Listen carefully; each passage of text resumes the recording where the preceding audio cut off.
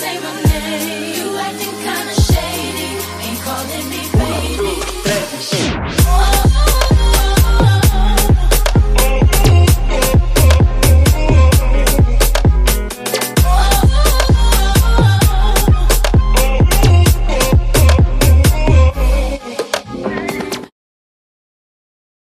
Les amis de YouTube là, faut aller sur YouTube là. Vous allez là-bas, vous donnez l'amour, vous regardez les vidéos, faites les dons. Comme ça, après, on va faire les Genkinama comme Son Goku. L'amour, c'est important, hein. À bientôt.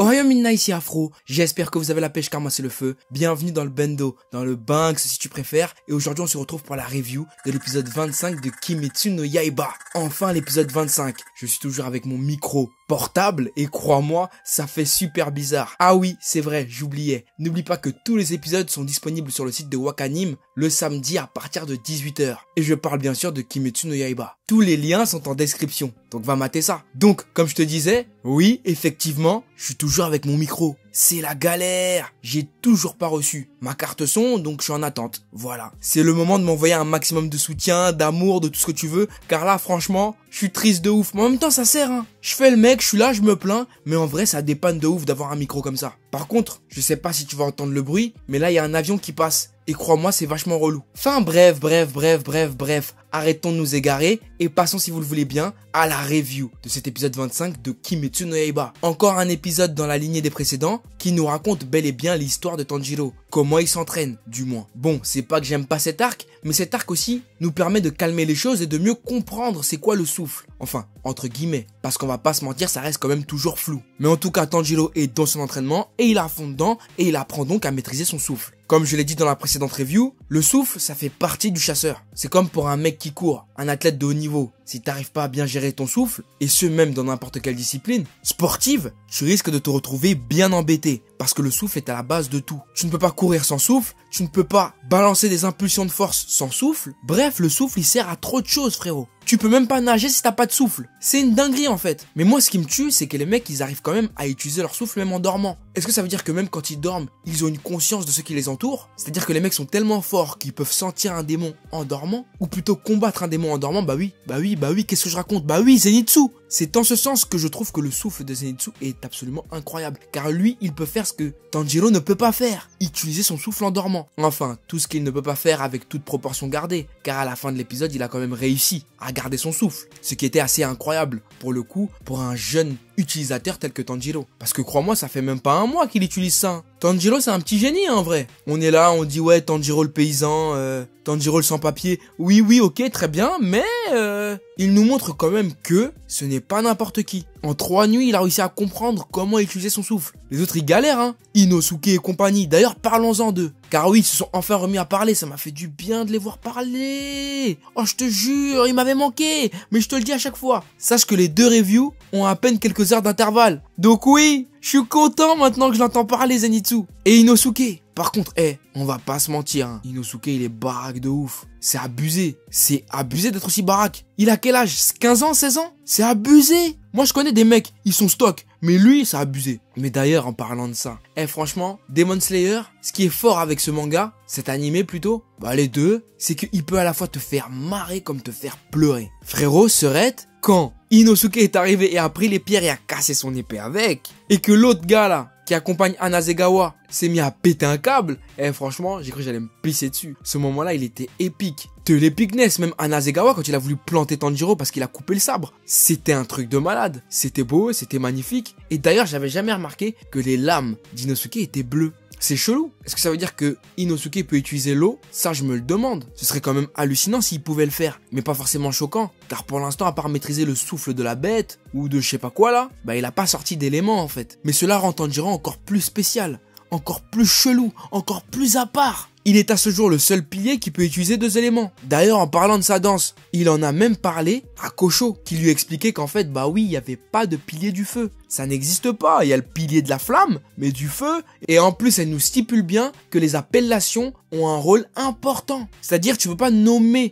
un art comme ça au hasard, non, non, non. Si Rengoku c'est le pilier de la flamme, c'est parce que lui c'est les flammes, que les flammes. Mais maintenant, qu'est-ce qui différencie les flammes du feu? S'il vous plaît, ne me spoilez pas, car je sais qu'il y en a beaucoup d'entre vous qui lisent les scans, et tant mieux, c'est tout à votre honneur, mais moi, j'aimerais bien me manger l'histoire en continu, kiffer un peu, être dans une vibe. Tu sais, cette vibe-là de découvrance. Oui, j'invente des mots, mais c'est trop bien quand tu découvres comme ça. Moi, j'aime trop. Bon, après, cet épisode a été aussi l'occasion de nous rendre compte du mal-être de Zenitsu. Oui, enfin, enfin, il se remet en question. Tu vois, durant tout le long je t'ai dit, ouais, mais Inosuke, il parle pas, nanani, nananer, et bah, pendant ce moment-là, il se remet en question. Sauf que Zenitsu, lui, il a pas eu vraiment le temps de se remettre en question. Déjà, imagine sa life. Il a réussi à battre un démon, il sait même pas comment il a fait. Il s'est juste réveillé un matin et il s'est vu tout que et il s'est dit, oh putain, merde. Et en parallèle, il voit Tanjiro progresser. C'est ça le plus frustrant. Quand tu es dans une bande de potes et que tu vois qu'il y a l'un de tes potes qui progresse plus vite que toi. Ça te frustre, ça te fout le démon, les nerfs. T'as le seum, t'es yombe, t'es pas bien, t'as envie de tout niquer. Et c'est exactement le mode dans lequel est Zenitsu. Il se sent pas bien dans sa peau. Il se sent mal, mais tellement mal, qu'il a envie de bien faire, surtout quand il voit à côté que Tanjiro est en train de s'attirer les faveurs de celle qui parle pas là, la muette là. Dont d'ailleurs on a vu son flashback. Bon, son flashback ne m'a pas saucé ni ému plus que ça, parce qu'on a déjà vu plein de flashbacks depuis qu'on regarde des mangas qui étaient beaucoup, mais alors beaucoup plus émouvants que celui-là. On va pas se mentir, on va pas faire les mecs, d'accord? On est ok? Ouais. Cela dit, ce qui était intéressant dans ce flashback, c'est premièrement le fait que parce qu'elle a vécu autant de maltraitance durant son enfance, ça l'a complètement enfermée, ou plutôt renfermée sur elle-même, lui donnant aussi l'air d'un personnage qui est froid, mais aussi glauque, mais cela nous a aussi permis de voir la sœur de Kosho. Un pilier vachement stylé. Bon, on va pas se mentir, c'est pas la plus belle meuf qu'on ait vue dans les mangas. Ouais, soyons honnêtes et clairs tout de suite, c'est pas une frappe. Bon, elle a son charme. Je sais qu'il y en a plein en plus dans la commu qui kiffent Kosho. Je sais pas pourquoi, mais je le sens. Surtout les meufs. Les meufs, vous aimez trop Kosho. Hein. Faut arrêter, hein. D'ailleurs, vous avez vu durant cet épisode elle était relou, hein. elle était pas comme ça, hein. À l'ancienne, hein. Elle était relou, elle était là, impatiente, chiante comme tout, toujours là vouloir saouler les gens. Ouais, vas-y, je t'achète le. Ouais, vas-y, je t'achète. Ouais, vas-y, il est à combien l'esclave là? Je te l'achète 2 euros, vas-y, viens. Hein. pas des trucs qui se font. Aujourd'hui, la cocho que tu connais et la cocho d'avant, c'est le jour et la nuit. Ah, je te jure, le ciel et la terre. Ça n'a rien à voir, mon coco. Ah oui, je te le dis, je préfère être honnête avec toi. C'est des personnes qui sont totalement différentes. Des personnes qui n'ont pas le même vécu. La cocho d'avant a vécu avec sa sœur, avait en quelque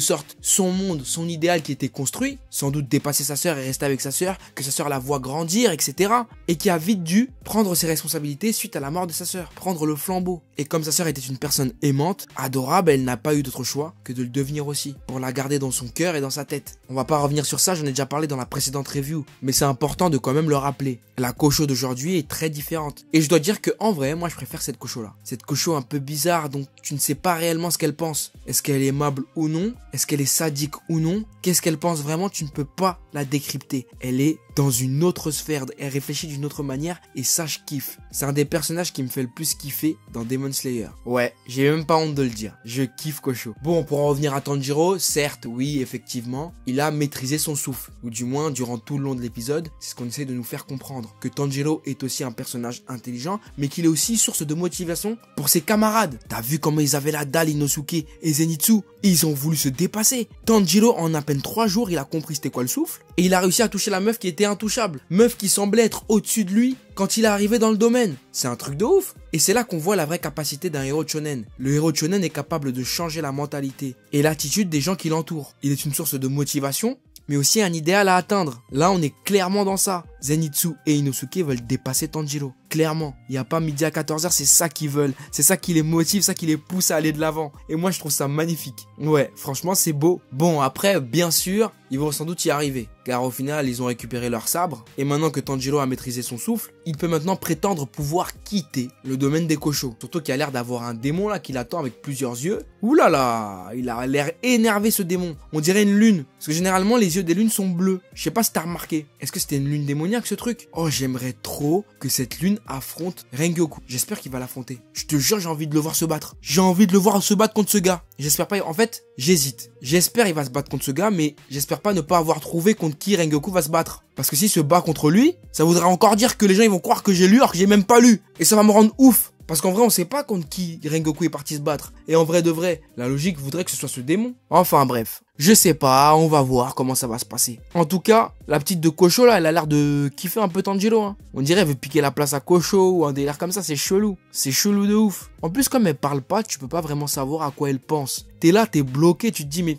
ah ma soeur, à quoi tu penses vraiment là? Dis-nous, parce que ta tête froncer tes sourcils là, on veut savoir. Enfin bref, après vraiment il n'y a pas grand chose à dire durant cet épisode, mis à part que bah, l'entraînement est en train de porter ses fruits et que Tanjiro est bel et bien un rookie prometteur. Mis à part le fait que sa danse n'est pas répertoriée, ce qui le rend encore plus spécial, eh bien le personnage est véritablement dangereux. Oui, car tu ne sais pas comment Tanjiro va évoluer. Il maîtrise deux éléments. Il est cheaté. Certes, c'est bien amené, mais il commence de plus en plus à ressembler à un héros de shonen classique. Genre en mode son père a maîtrisé un truc à l'ancienne. Donc du coup, peut-être que son père c'était un chasseur, mais on sait pas. Nanani nanani, il a des pouvoirs spéciaux. Nanana. Or qu'en fait, dès le début de l'histoire, Tanjiro, souviens-toi, c'est un mec de la Hesse. Il est là dans la Hesse, de ouf. Il galère. Il va couper du bois, du charbon tous les jours parce qu'il galère, gros. Et là, il est là, pépère, il fait des trucs. C'est un peu abusé, tu vois. Tu vois pas ce que je veux dire. Mais bon, on verra bien. Mais bon, là, ce qui m'intéresse, c'est d'avoir ton avis. Moi, j'ai kiffé. Ça va. C'était, pas le meilleur épisode, mais ça va. Mais là, tout de suite, ce qui m'intéresse, c'est d'avoir ton avis à toi, frérot Serette. Est-ce que tu as kiffé, pas kiffé? Est-ce que tu as détesté? Donne-moi ton avis dans les commentaires. Vraiment, je te jure, j'ai hâte de te lire. En plus, là, c'est la galère. T'as vu mon micro? C'est dur. Donc là, parle-moi, dis-moi des trucs. euh, dis, parle à ton frérot. Qu'on chill un peu. J'attends ton avis dans les commentaires. Voilà. Sur ce, c'est la fin de cette vidéo. J'espère qu'elle t'aura plu. N'hésite pas à mettre un gros pouce bleu si tu l'as apprécié. Abonne-toi à la chaîne et rejoins la famille, frérot. C'est important. Suis-moi sur les réseaux sociaux Facebook, Twitter et Instagram pour ne rien louper de l'actu de la chaîne. N'oublie pas que tu peux me soutenir sur YouTube en faisant un don ou en regardant des pubs. Et ça, c'est totalement gratuit. Crois-moi,